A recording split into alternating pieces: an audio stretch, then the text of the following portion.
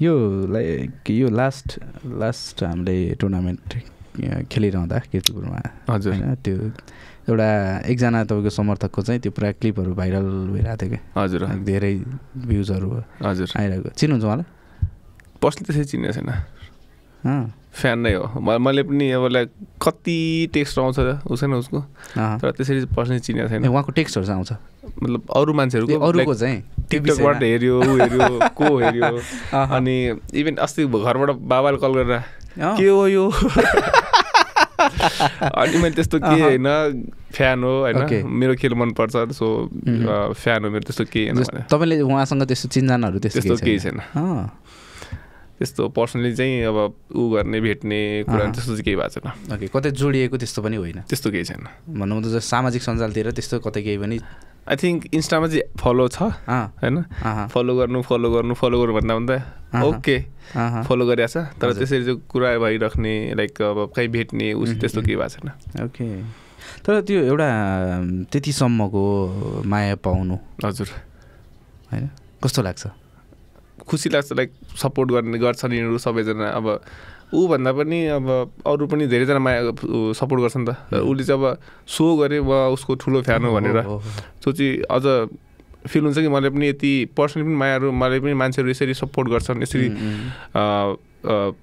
मलाई मोटिभेट गर्न आउँछन् माया गर्न गर्छन्। सो त्यसले गर्दा चाहिँ अझ इनर्जी आउँछ कि?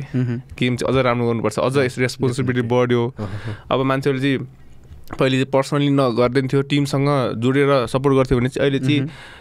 सिङ्गल मेरो नामले पनि मलाई सपोर्ट गर्न आउँछन्। सो त्यसले गर्दा चाहिँ अझ पनि अझै रेस्पोन्सिबिलिटी बढ्यो। अब अझै राम्रो गर्नुपर्छ।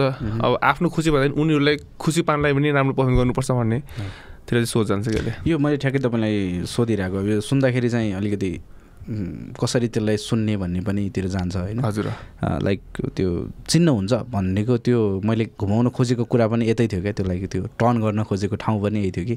लाइक तपाईँले सँग त्यस्तो कनेक्सन हुनुहुन्न तपाईँको कोही नजिकको व्यक्ति होइन चिन्जान भइरहेको व्यक्ति होइन साथी त्यस्तो केही होइन।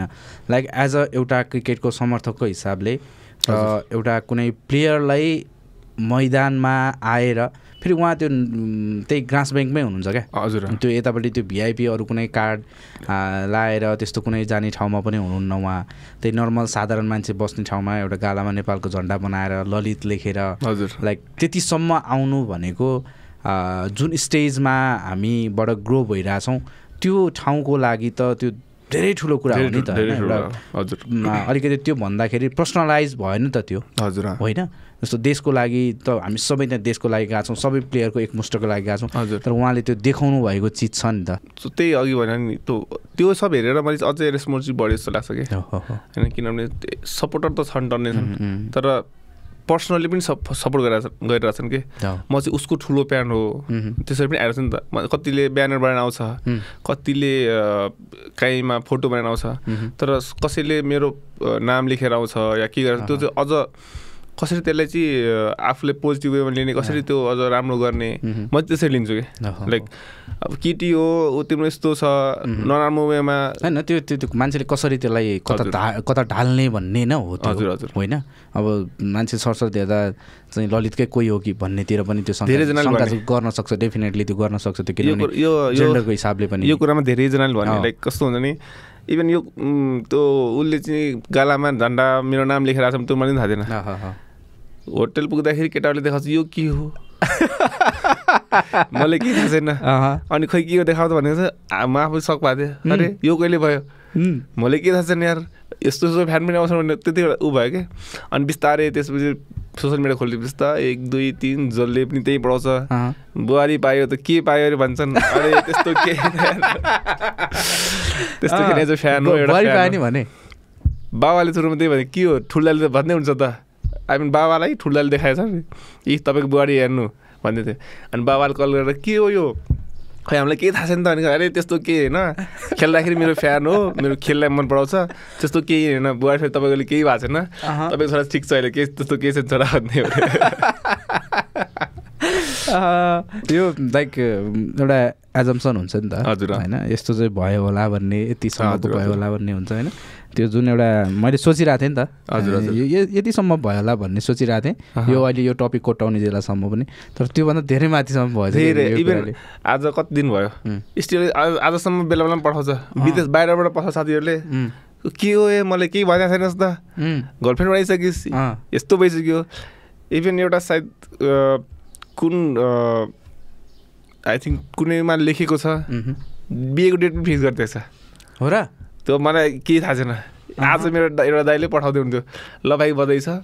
जेस्टमा बिहे हेर्दैछु। अनि दाइ बिहे सिहे केही छैन। अनि दाइले चाहिँ भाइ क्वालिफाइड छ। क्वालिफाईमा खेल्ने पहिला त्यसपछि बिहेको सोच भन्दै हुन्थ्यो अरे दाइ तपाईँको बिहे भएपछि मात्र बिहे गर्छ अहिले म बिहे गर्दैन अँ, त्यस- त्यति त्यतिसम्म भयो ओके। सो त्यसले केही असर त भएको छैन त्यो असर भन्दा पनि मेनली सबभन्दा पहिलो कुरा चाहिँ लाइक त्यो एउटा रियल फ्याक्ट कुरा के हो। भन्ने हो होइन? तर। लाइक एउटा फ्यानको फ्यान त्यो बेससम्मको फ्यान पाउनु भनेको चाहिँ फर मी पर्सनल्ली एकदमै ठुलो कुरा हो मेरो लागि।